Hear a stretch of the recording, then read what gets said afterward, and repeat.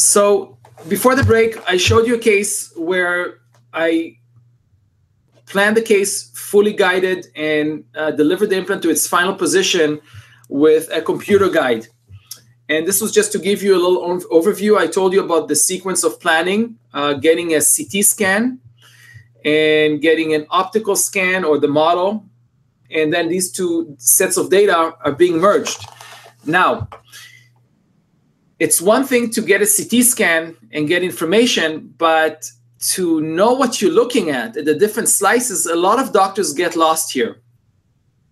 And I wanted to spend only a couple of minutes. Uh, have, hopefully, everybody's back. Give me just a, a yes or a thumbs up that uh, everybody's uh, list, hearing me, hearing me loud and clear and seeing me.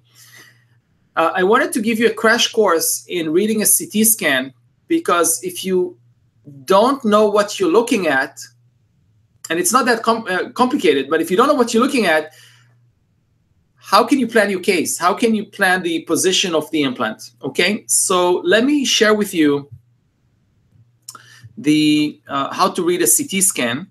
We used to get those films in those big envelopes, and everything has gone digital. We can now print them, but really, you can look at them on your screen and you can now import them into your software and you can really make some decisions that will be good for your implant positioning. They'll make the procedure safer more predictable more accurate and precise. And that's exactly the idea behind this course. So every dentist needs to speak the ct language and this is like a quick crash course. So if you think about a ct what does that mean? That means computerized tomography. what does that mean? That means these are multiple x rays, multiple x rays taken from different angles and reconstructing a three dimensional object.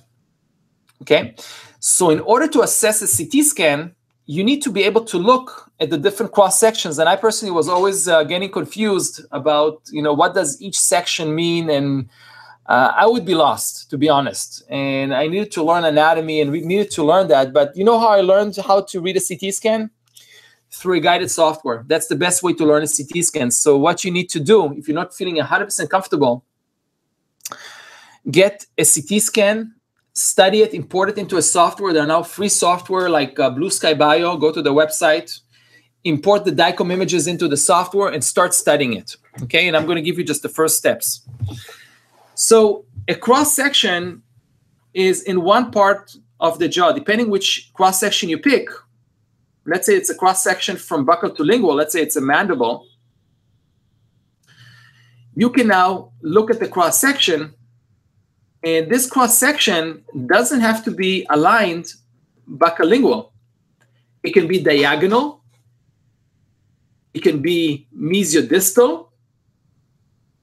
Okay. And if you don't know how the cross section is oriented, you will not know what you're looking at.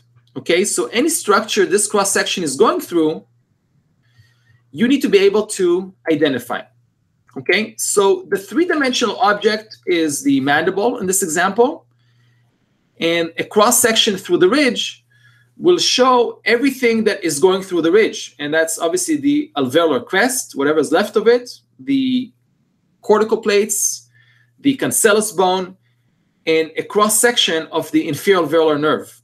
So I recommend if you're not feeling 100% comfortable, just import the DICOM images, and it's very simple to do. If you have problems, you can definitely email me. I can guide you through this process. Import them into a software and start literally playing with it and look at the different sections, move the sections across the arch, and study the anatomy, not just of the arch or of the edentulous area, but also the different anatomy of teeth. And you'll learn so much about anatomy. So this is a buccolingual cross was a buccolingual cross section a cross section that divides the jaw in a apical coronal direction is called the axial view. And that's a very important section when it comes to planning. I'll show you the distance between the implant and the adjacent teeth or between implants. And that's extremely important. Okay. So study that. So that's, uh, so we have two, the uh, buccolingual section, we have the uh, apical coronal section, the axial view, and then we have the panoramic view. Now, a lot of the dentists, and I like you to pay attention to that, a lot of the dentists are gravitating towards the panoramic view because it looks so familiar and they're confusing it with a panorex. And it's totally different, totally different. A panoramic view is not a panorex. A panoramic view is also a cross section, but this cross section is taken across the arch. It's a curved cross section. That's why we need to place our, our, our section in the middle of the arch so you can see something, but you see some teeth are missing and they're not missing. It's just because the cross section did not include them. Okay, so don't be confused and don't even worry about it because the panoramic panoramic view is the least helpful in terms of implant planning. You actually don't need it at all. I don't know why it's even included. You can turn it off. All you need to do is look at the cross section, look at a uh, axial view and the three-dimensional object. Okay. Now, anything that goes through the section will show not only the anatomy, but in case you have a virtual wax up or an actual wax up that, that was imported into the software, you will see the outline of the crown. And why is that important? It's going to help you plan your implant in the proper restorative position. Okay.